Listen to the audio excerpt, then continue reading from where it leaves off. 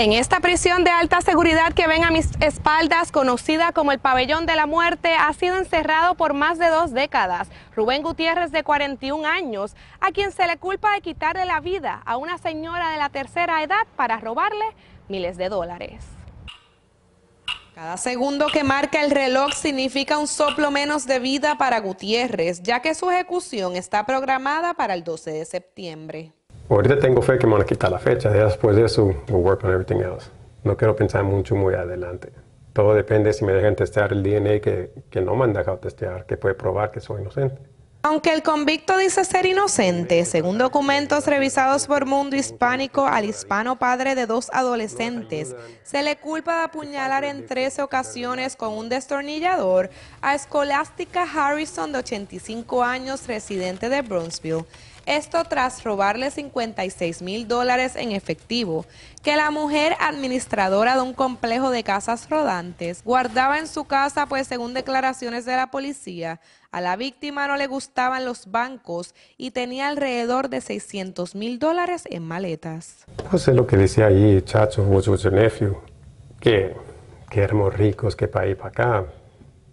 He would kind of brag a todos que, que los juntamos ahí a tomar de que tenían dinero guardados ahí. Se emborrachaba Chacho y corría la boca. Según un documento de la Corte, Gutiérrez no fue el único culpable del homicidio, sino que también René García, quien pasará toda su vida en la cárcel, y Pedro Garza, quien se fugó de la justicia. Eh, no sé qué estaban pensando ellos, pero si ellos estaban ahí, ellos yo, yo no quiero hablar nada de eso. Le preguntamos si le diría algo a ese joven de 21 años, la edad en la que fue condenado, y esto nos dijo. Hay muchas cosas que quería cambiar, pero yo no pienso así, nada, cosas pasan por una razón. Si no, el pasado es el pasado, no puedo cambiar nada del pasado. Y dice no pensar en que se le acaba el tiempo. Yo pienso que me van a quitar la fecha. Como se mira, pero si pasa así no, no, no sé.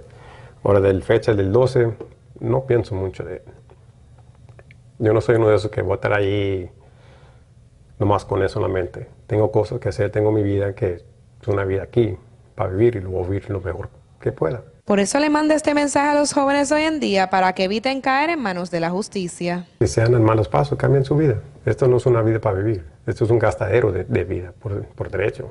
Estamos aquí, it's just, we're alive, but it's just a mere existence. We have no life here.